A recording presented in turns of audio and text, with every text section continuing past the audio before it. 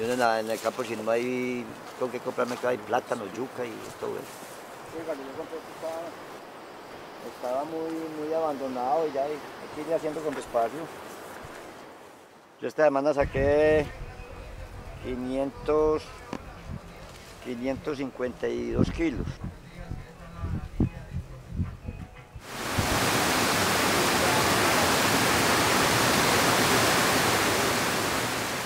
Truchas del Jardines es una empresa, como su nombre lo dice, productora de trucha. Funcionamos hace 12 años. Eh, nos abastecemos de la quebrada La Salada. Es una truchera que produce alrededor de 6 toneladas mes.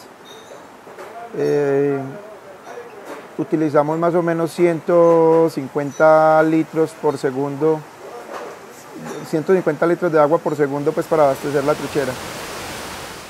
Los 224 kilómetros cuadrados que componen el municipio de Jardín están solicitados para la explotación minera por la riqueza de las montañas donde se localiza. En esta se pueden encontrar oro y otros minerales. Los jardineños sostienen que la minería no es necesaria en su territorio por las consecuencias ambientales y sociales que han percibido en otros municipios del suroeste antioqueño. Y a pesar de que la cosecha del café está en baja, los cultivos de plátano, lulo, curúa, tomate de árbol, aguacate, las trucheras y el turismo son sus fuentes de ingreso. La agricultura que hay se acabaría, porque las máquinas le quitan el vegetal a la tierra, así echen lleno, el vegetal no es el mismo, entonces esto, se va a acabar, porque entonces ya no está esta zona verde, no está el revuelto. No, no pueden estar los campesinos que tenemos ahora en el campo, no pueden estar, ahí nosotros lo podemos estar en el campo, pero hay muchos que están trabajando. Entonces, de aquí salen, de aquí sale granadilla, sale tomate, sale plátano para Medellín, algo de café, sale de aquí. Entonces ya eso no, irá, no iría a salir. Aquí se vería ya entonces, sería unos tipos llenos de plata con unos carrelados de plata, pero por un ratico. ¿Y que nos vamos a ganar nosotros con plata si, si, si papeles nadie come? a los colombianos nos quieren dejar, eh, ellos eh, nos quieren dejar los pasivos ambientales, todos los daños ambientales, todos los temas de eh, pérdida de suelos, pérdida de cobertura, tala de bosques, tráfico de flora y fauna, contaminación de fuentes de agua con mercurio y cianuro, eh, daños en, en la salud humana por causa, eh, por causa de estos venenos y ellos, estas empresas mineras, pues obviamente se quieren llevar nuestro oro y nosotros hemos dicho, y, y eso es a la luz pública, que nuestro oro es verde, nuestro oro es el agua, nuestro oro es la vida. Agua mía nace de pura peña. Es pura peña, no nace así de la tierra, es una veta de, peña.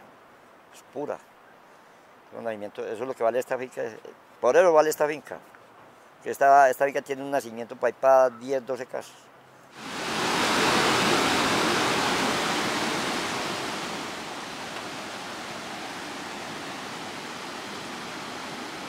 Como donde están pidiendo los permisos mineros es para la parte alta normalmente de todas las quebradas, entonces ya los eh, lo, lo- lo que ellos, ya el agua seguramente bajaría pues muy contaminada con los químicos que ellos utilizarían para, para procesar esos minerales, seguro. Entonces, debe, sí, eso pues ya sería fatal totalmente para los animales y no solo para las truchas, yo creo que para todos los cultivos pecuarios y agrícolas, porque igual los que, los que utilizan las quebradas para riego de los cultivos, seguramente ya esas aguas contaminadas van a traer eh, consecuencias, pues el que tenga cultivo de cerdos o cultivo de cualquier clase, yo creo que se vería afectado. Las tierras, ¿cómo nos las dejarían? Entonces, yo creo que por todos los lados, pues sería desastroso que llegue la minería jardín. El tema de no a la minería en nuestro municipio es algo eh, lógico. Nosotros somos un municipio que no tiene vocación minera. Somos un municipio con una vocación turística, agrícola y cafetera. No entendemos cuál es el planteamiento del gobierno nacional ni el tema de la locomotora minera eh, que debe llegar a todos los rincones del país. Eh, no es sino mirar la reunión que tuvimos en su momento con la viceministra de Minas, en donde le preguntábamos por qué cambiarle la vocación a un pueblo, a raíz de qué. El gobierno nacional es el dueño del, suelo, del subsuelo pero los municipios legislan en el suelo. No vemos por qué pasan por encima del municipio para llegar a ese subsuelo. Esa es la preocupación de nosotros. Aquí la gente muere de viejo, pues de vejez. El indígena no se preocupa de otra cosa, sino producir su comida y mantener su familia y educarlo. Nos, eh, con la llegada de la minería, pues lógicamente sería un deterioro, una inestabilidad emocional, cultural, patrimonial de nuestro pueblo como tal.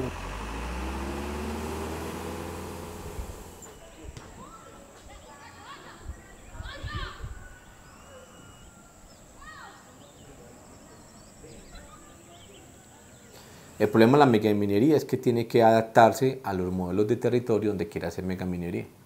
El problema es que no puede pretender una multinacional minera hacer explotación con un sistema similar en un desierto, una zona de estepa, vaya usted a indicar Nevada en Estados Unidos, los desiertos de Chile, Bolivia o Perú, que hacerlos en los ecosistemas montañosos colombianos. No hay posibilidad de que adopten el mismo modelo. No sé qué modelo están planteando de explotación, pero me preocuparía explotaciones de megaminería con igual modelo. Estoy seguro que los irán a adaptar y que la propuesta de ellos es adecuarse al acondicionamiento topográfico, geomorfológico y ambiental, pero ese tema no ha sido posible plantearlo porque hay polarización. Desde el no absoluto al cómo podemos hacerlo hay un paso muy grande, pero ese es el espacio que no se ha podido agotar.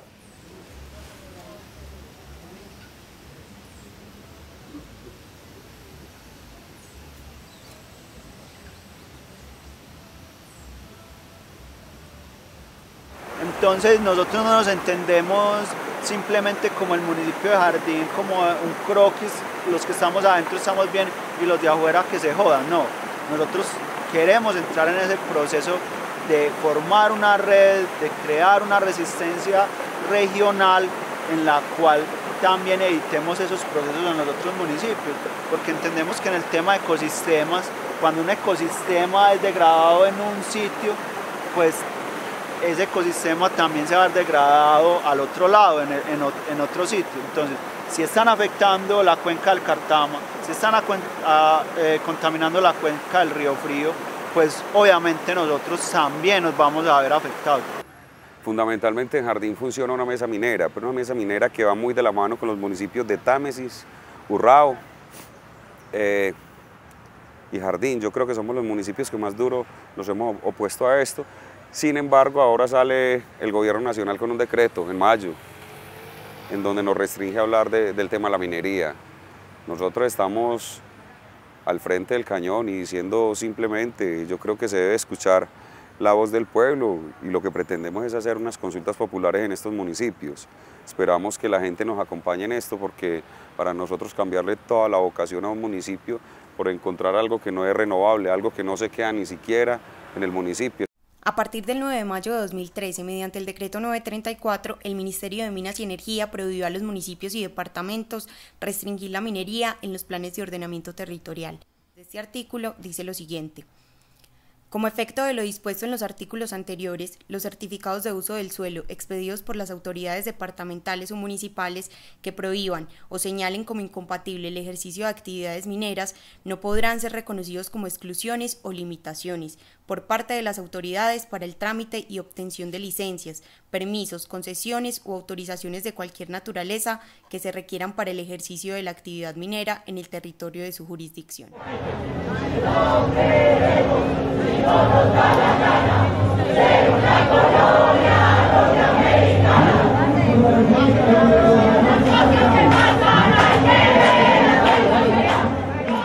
Y de esta manera hemos estado hablando con, con nuestros vecinos campesinos que la única manera de decir no a la minería es trabajar en comunidad, hablar en un solo sentido. Aquí no se puede expresar que yo soy blanco, tengo mis ojos azules, que tú eres diferente. No, aquí para la madre tierra todos somos los salidos de la misma, del mismo ser, como, ¿cierto?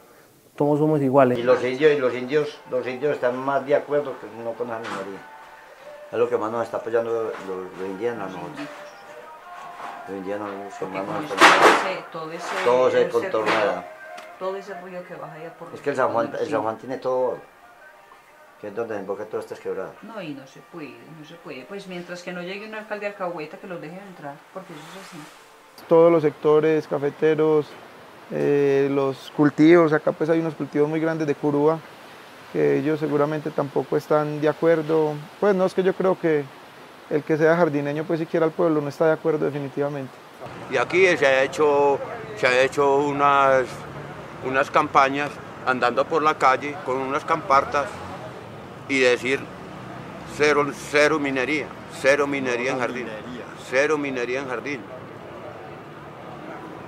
Esto ha sido cuadrado aquí por la, por la alcaldía municipal. Mm, de las personas, pues yo creo que somos todos los jardineños. Porque yo creo que aquí no hay una persona que diga que quiere minería acá, siendo y acá no quiere. Darle aplicación efectiva al régimen sancionatorio ambiental contemplado en el Código Minero, que permite a las autoridades municipales y ambientales decomisar bienes que están siendo utilizados en la comisión de delitos contra el medio ambiente. 3. Realizar las gestiones necesarias ante las autoridades competentes para la declaratoria de área protegida de carácter regional al Distrito de Manejo Integrado Cuchilla Jardín Támesis, con el fin de detener los procesos de y explotación minera una de las pocas figuras jurídicas que blinda a los territorios de este tipo de actividad. Cuatro, brindar garantías y acompañamiento a los procesos que en la defensa del territorio y la identidad cultural ha iniciado la sociedad civil. El municipio ha estado trabajando, se, se, han hecho varias manifestaciones en contra de la minería. Estuvimos en el primer cabildo minero de nuestro municipio, en donde el Consejo por unanimidad dijo no a la minería. Después redactamos un proyecto de acuerdo, eh, de pronto siendo un poco más, más agresivos en ese sentido, y fue demandado, porque no era discrecionalidad ni de los alcaldes ni del consejo, pero nosotros no estábamos prohibiendo, estábamos restringiendo, con base en los planteamientos que teníamos formulados para nuestro EOT. A todos los jardineños para que se enteren de la problemática que está quejando al municipio, el robo de los recursos naturales, que no deja nada a este pueblo, la pérdida de la cultura, la pérdida de la identidad de este pueblo que por mucho tiempo fue productor de alimentos. Pedimos a toda la comunidad que se entere de lo que está pasando. Tenemos un país minero que está sobreestudiado y sobreanalizado por parte de quienes no son colombianos, pero el colombiano medio no tiene ese conocimiento. De ahí que el colombiano medio, el ciudadano medio, sea muy sensible a campañas de no o sí. No a la minería se adhiere cualquiera que tenga un mediano sentido común ecológico y si la minería es cualquiera que tenga una oferta económica de trabajo también medianamente sensata. La minería no debe ser rechazada, la minería es esencial. Todos estamos vestidos con productos derivados de la minería, eh, prohibir la minería es como renunciar a, instrumentos esenciales de la vida diaria. Hasta los instrumentos ricos ponen de la minería. Lo que pasa es que el enfoque no debe ser no a la minería, sino cómo vamos a hacer minería y quién va a hacer la minería. específicamente, esas serían las preguntas que yo me haría como habitante de territorio. A pesar de la poca claridad que ha presentado la Secretaría de Minas de Antioquia, esta sostiene que se buscarán mecanismos para resolver la situación de las 1.600 minas que se encuentran funcionando en el departamento sin titulación. Pero esto podría llegar a ser algo utópico para los pequeños mineros, ya que la falta de recursos económicos los lleva a implementar métodos nocivos para la vida humana. A esto se le suma el precio de una perforación, que tan solo en la fase exploratoria tiene un costo de un millón de pesos mientras que una multinacional hace aproximadamente 200 perforaciones por exploración, al pequeño minero le queda casi imposible contar con esas altas sumas de dinero, de mano de obra y maquinaria.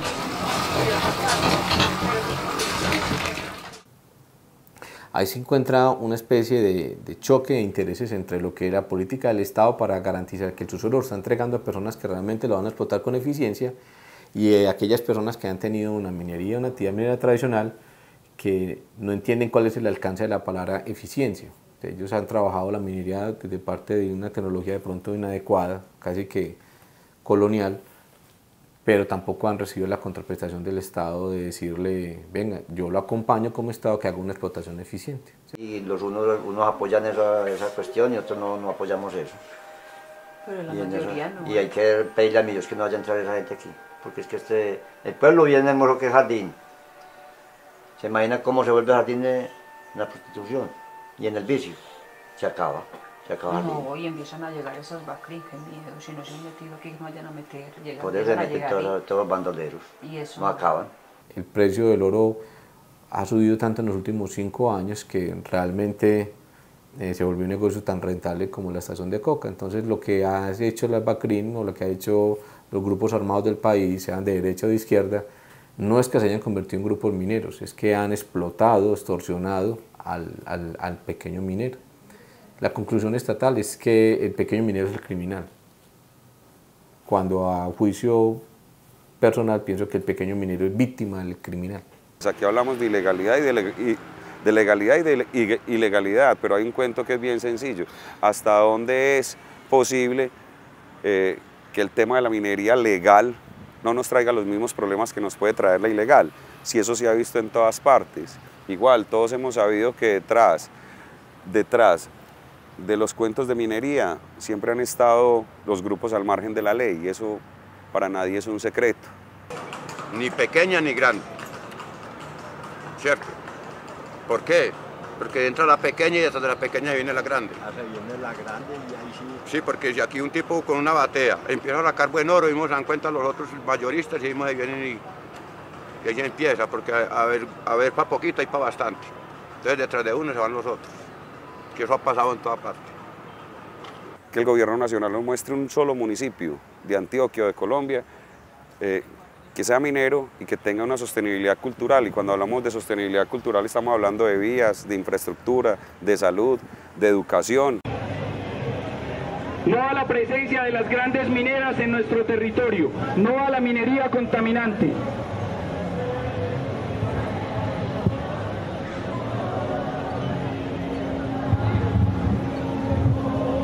Hablan de multinacionales, hablan de, de- de mucha gente metida ahí, pero directamente que conozcamos uno por uno quiénes son los que están metidos o relacionados con esto, no. Esa gente que viene de otros lados son los que vienen a huevonear. Esa gente. Esa gente de tranza. Usted sabe que la plata es la que manda todo.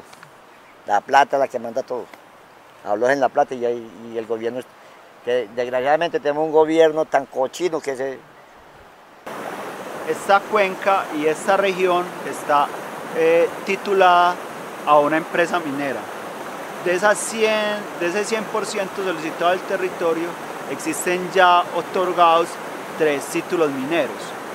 Uno al Anglo-Gola Chanti Colombia, que es un título minero que viene desde el municipio de Jericó, que precisamente es el que ellos están explotando en Jericó, y otros dos que pertenecen a Jupiter Som, que es una empresa filial de la empresa minera Continental Gold. Las otras comunidades también estén alertas y no les pase pues lo que está pasando pues en muchos resguardos que ya muchas multinacionales han entrado y, y- han saqueado lo que hay y ya pues difícilmente ellos, muchas comunidades indígenas ya están recibiendo es lo que es la parte ya, ustedes firman, nosotros le estamos pagando una parte de lo que les corresponde eh, simplemente buscan ustedes o nosotros buscamos donde vivan, vayan a vivir ustedes, lo que necesidades tienen, no te- queremos más tierra, queremos casas, entonces les damos todos, firmen aquí y nos adueñamos de, de sus tierras. Y ya ellos los están excluyendo y les toca pues emigrar a, a- a ciudades. A pesar de la resistencia mostrada por muchos antioqueños, la Secretaría de Minas pretende alcanzar 800 legalizaciones de mineros informales en el cuatrenio. Hoy, en Antioquia se encuentran represadas 700 solicitudes para la explotación y extracción de diferentes minerales. Entonces, para nosotros eso sería un fracaso total, un fracaso total. Porque a la vuelta de 10, 12 años, los niños míos los- y los nietos, mis hijos y mis nietos no van a tener, no van a tener la dicha que tengo yo en este momento de ver estas, de ver estas zonas verdes, sino que vamos a ver ya es un desierto. Entonces yo digo, para mí esto, la minería aquí en Jardín sería total desastre, total desastre. Si empieza la minería, las trucheras en jardín desaparecerían completamente, que es un renglón económico importante pues, de, esta región. Pues aparte de eso, sí, ¿cuántos empleos generan la- las trucheras? Eh, hablando nada más de las trucheras, no, pues en jardín, yo creo que sería, son más de 100 empleos los que hay O sea que son más de, de 100 familias que están viviendo de eso.